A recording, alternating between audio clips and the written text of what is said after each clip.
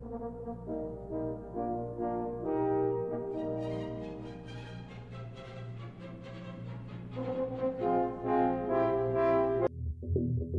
good afternoon. It's Jay here.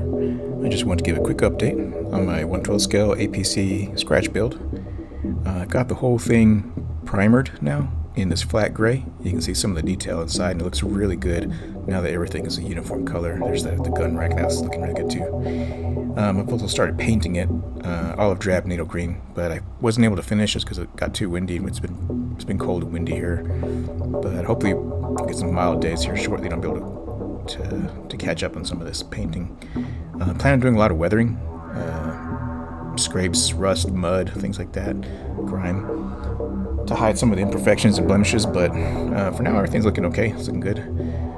Um, no complaints, and I just wish the weather would cooperate. But uh, here you can see some of the tools, backpacks, and the, the chain gun in the front that I primed up. And then here I'll just do a quick overview of the finished prime vehicle, and then a little bit of the items that I've started painting in green. Uh, other than that, I am starting a brand new project, or I have started a brand new project.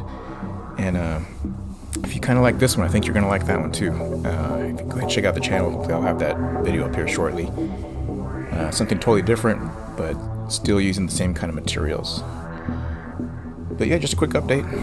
Hopefully, I'll be able to start doing some custom painting and then some decals. But do appreciate everyone for watching the video and hope you all have a good weekend.